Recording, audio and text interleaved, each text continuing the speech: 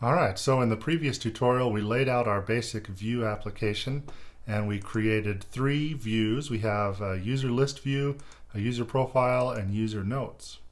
So in this one, we want to work with the user list view and we're going to create a list. And this particular list is a Spark list and it's been optimized for mobile uh, interactions. And what I want to do is create the app for cool people. We're going to list all the cool people. Uh, all right, let's go ahead and set up a few components here. The first thing we want to do, let's go ahead and create a script block so that we can uh, add code. And we'll leave that empty for a minute because uh, in order to navigate to the next view, we'll add code within the script tag.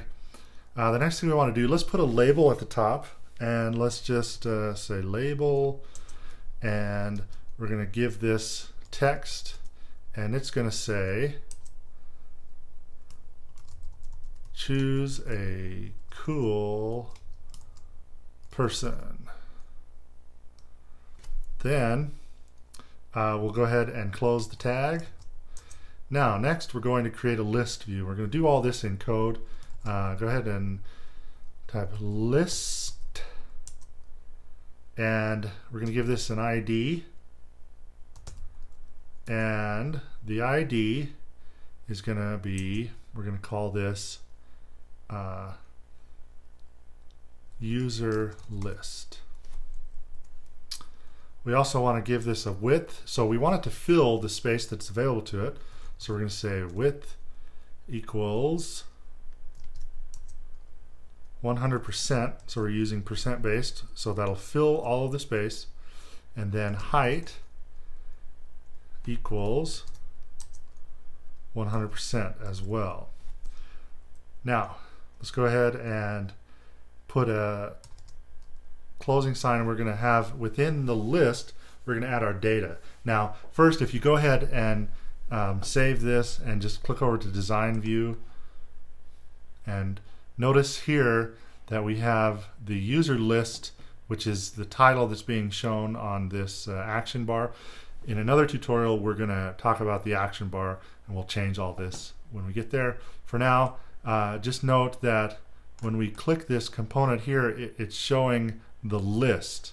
So what I just did is selected the list and notice that it fills the entire spot. Now let's click back to source and within our list view, uh, the list component tag, we want to create an array collection. Now, there are a number of ways you can get data with to uh, within a component.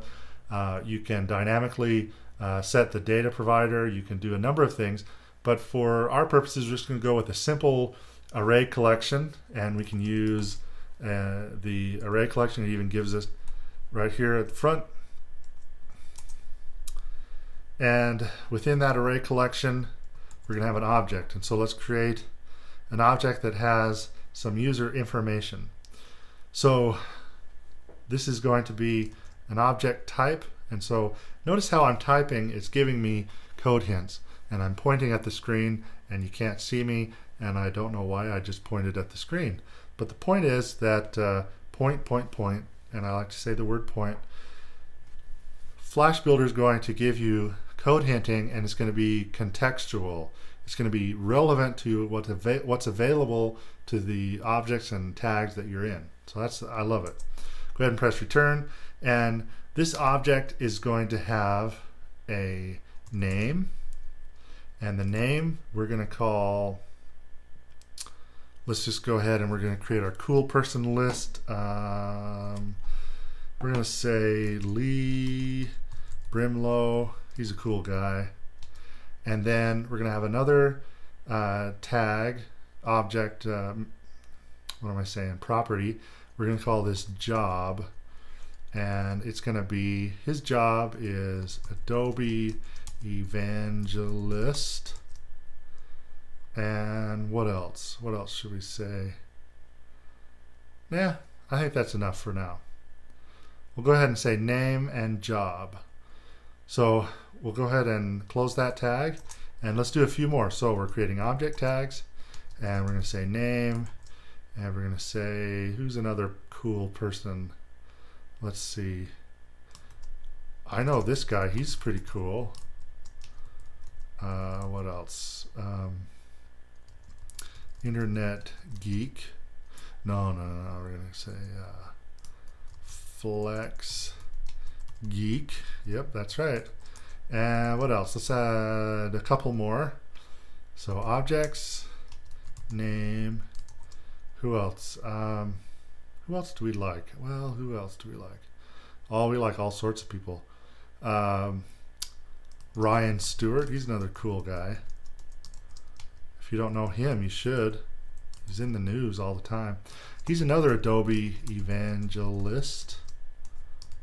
And finally, one more object name.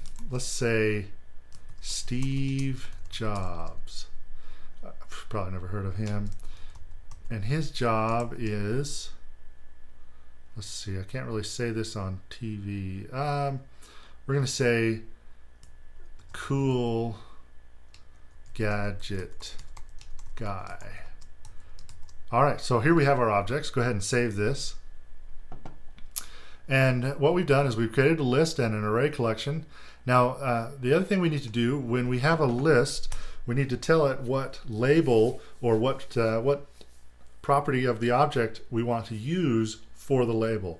So it's called label field, and that's going to be uh, name is our label field. So go ahead and save that. Let's take a look at our design view. And notice that it's filled in the data. And again, we're just kind of looking at it from within Flash Builder.